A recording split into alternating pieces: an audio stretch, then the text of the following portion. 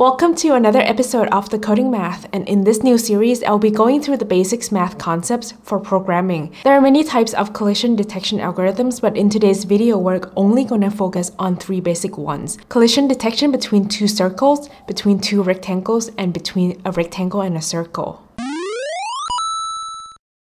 So let's start with the first one, a collision detection between two circles. If you look at two circles here, the three variables that I want you to pay attention to are the x and y coordinates of each of the circles and the radius of each of the circle. So how do we know that they're colliding? If the distance between the x and y coordinates of circle 1 and circle 2 is less than the radius of circle 1 plus circle 2. So if you look in the picture right now, because the distance is more than the radius combined, they're not colliding. But on the other hand, if the distance between the center of the two circles are less than the radius of the two circles combined, they are colliding. First, I'm going to declare three variables for one circle. Let cx, let cy, and let cr. So this is the x and y coordinate of that circle and the radius. Then I'm going to initialize cx to be width divided by 2, cy to be height divided by 2. So this circle is going to be in the middle of the canvas and then I'm going to make CR to be 100. And then let's draw it. So an ellipse function takes in a total of four arguments, the x and y coordinate of the circle, so cx and cy, and then it takes in the width and the height, which is the diameter. And so we need to multiply cr by 2. And then let's give it a color white. Okay, so now we have a circle that is smacked in the middle of our canvas. Now I'm going to draw another circle. This circle is going to have mouse x and mouse y as their x and y coordinates. So ellipse is going to be mouse x and mouse y. But now I'm going to declare another radius for this smaller circle at 20. So CR2 times 2, CR2 times 2. And then let's give this color red. Okay, so now we have a big circle that is static, and then we have this smaller circle that moves around, depending on where the mouse is. But now, when they're colliding, nothing happens. What I want to do is that I want to change the color of the big circle if these two circles are colliding. We need to check whether the distance between the center of these two circles is less than the radius of these two circles combined or not.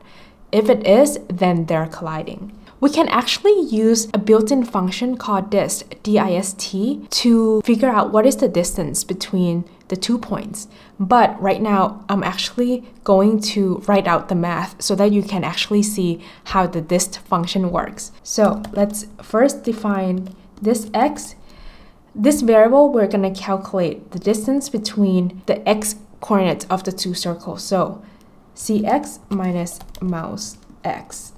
And then we're going to do the same for the y, cy minus mouse y. And now we're going to use the equation from the Pythagorean theorem to figure out what is the distance between the x and y coordinates of the two circles.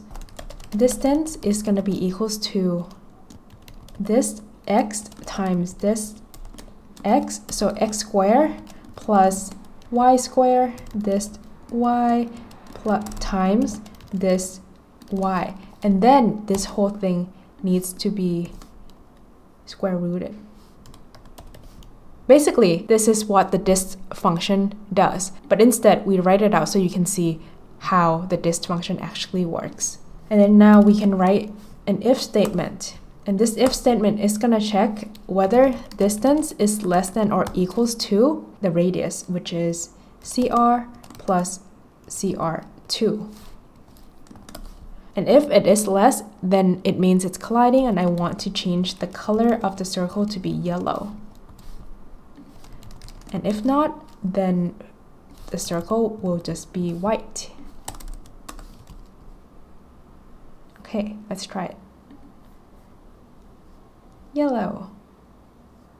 And if you can see, once it touches, it's still okay, and then it turns yellow. So this is collision detection between two circles. Let's move on to the next one, two rectangles. In the rectangle here, I have identified a total of four points, the four corners of the rectangle. There are four main variables here. First, the x and y location of the top left corner of the rectangle, and then it's the width and the height. Before we look at how to detect whether two rectangles collide, let's look at a simpler one, a collision between a rectangle and a point. To identify whether a point is within a rectangle, we need to check the position of the point relative to the four edges of the rectangle. On the x-axis, if px is more than or equals to the left edge or rx or less than or equals to the right edge which is rx plus rw.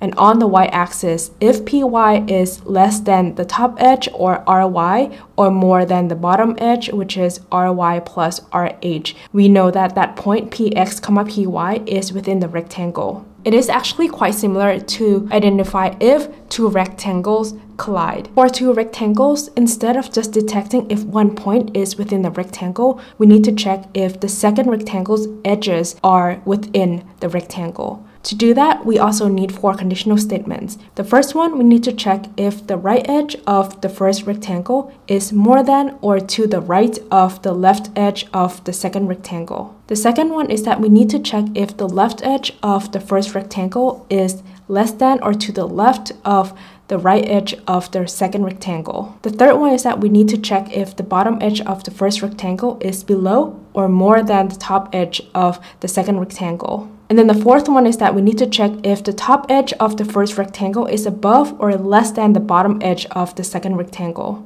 So I'm gonna declare four variables, the x and y coordinates and the width and the height of the rectangle. And then let's make the width and the height to be, let's do 150 here.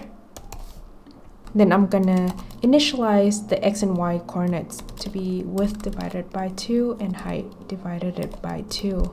It's not gonna be right in the middle, um, and that is because the x and y coordinates that we're gonna put in our rect function is the top left corner of the rectangle. So I'm gonna put here x and y, and then the width and the height. And let's fill it with the color white. Okay, so now we have this rectangle of size 100 by 50. I want to draw another rectangle. And then this rectangle is gonna actually move with my mouse as well. But then I'm gonna give it the same width and height as the first rectangle. Then let's fill it with red. Okay, but now when they're colliding, nothing happens. Let's go back to our four conditions that we need to know that the two rectangles are colliding. Let's start with the x-axis first. I'm going to define two variables. Right edge would be x plus width, and then left edge would be x. And then now let's go to the y-axis. So it's going to be top edge, which is going to be y, and then bottom edge which is gonna be y plus h. So now we're gonna write the four conditional statements. So if its right edge is more than or equals to mouse x and the left edge is less than or equals to mouse x then we are going to print collide. Let's try it. So now not colliding. Um, what I did wrong is that it has to be the left edge has to be mouse x plus the width.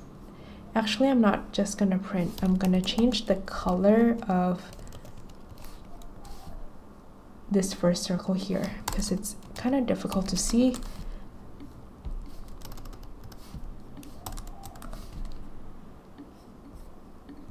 Okay. There you go. But you can see that, you know, it works on the x-axis anywhere this rectangle is. So we need two additional conditional statements. So the first one is the top edge needs to be less than or equals to the bottom edge of the smaller rectangle, which is going to be mouse y plus h. And the last one is going to be the bottom edge of the big rectangle needs to be more than or equals to the top edge of the smaller rectangle, which is mouse Y. Let's try this. And there you go. Now it works on all directions. So now we have gone through the circle to circle and rectangle to rectangle collision detection.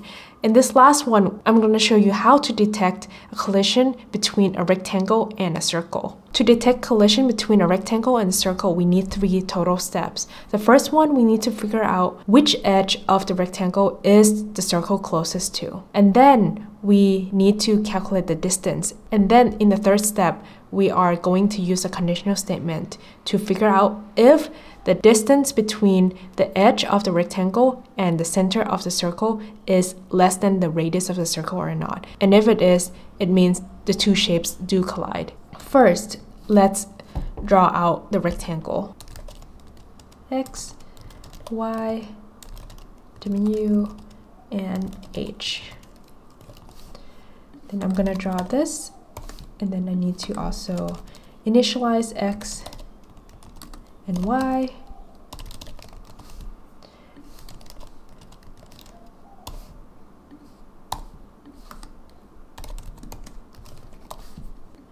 Okay, nothing's new here.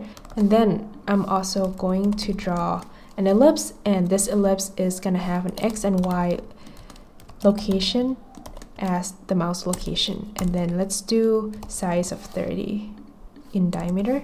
And then I'm going to fill it red. Actually, I'm going to move this after the rectangle. Okay, so now we have a circle and a rectangle, but when they collide, nothing happens. First, we want to figure out which of the rectangle's edge is the circle closest to.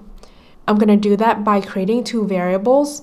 I'm going to call them close x and close y.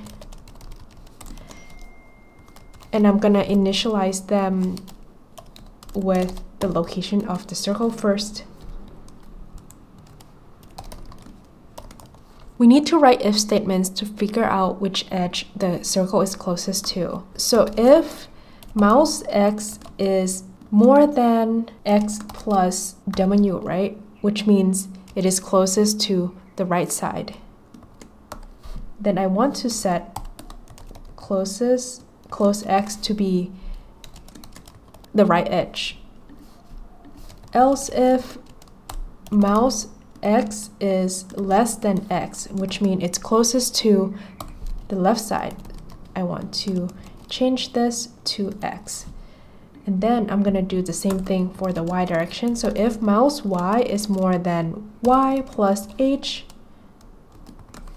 then close y is going to be equals to y plus h and else if mouse y is less than y, so it's closest to the top edge, and then I want to do this. And the reason that we need to figure out which edge it's closest to is because we want to know what is the distance that we need to calculate, the distance between which edge and the center of the circle. And then once we have this first step, then we want to calculate the distance. And this is the same way that we calculated the distance in the circle to circle collision detection. So dist x is going to be close x minus mouse x. Right? So mouse x is the center of the circle and then close x is the edge. then dist y is close y minus mouse y. And then we need to use Pythagorean theorem, which is going to be dist x times dist x plus dist y times dist y. And then you want to square root everything. And also, once you're familiar with this equation, you can also just use the dist, dist built-in function within P5.js that does the exact same thing as this. Now, we can write the conditional statement that says if distance is less than or equals to the radius of the circle, right, which we have defined we have not defined yet. So let's create CR equals to, to 15. And then this one is CR times 2, CR times 2. So if distance is less than the radius of the circle, then I want to fill the rectangle yellow, which is what we have been doing. Else, we fill the rectangle white.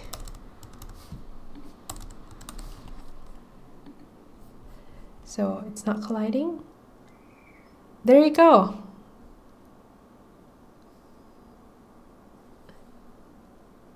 So now you have learned three basics type of collision detection between two circles, between two rectangles, and then between a rectangle and a circle. Try to implement it into your programs. This is a great way to create programs where there are objects that are interacting with each other. Give it a try.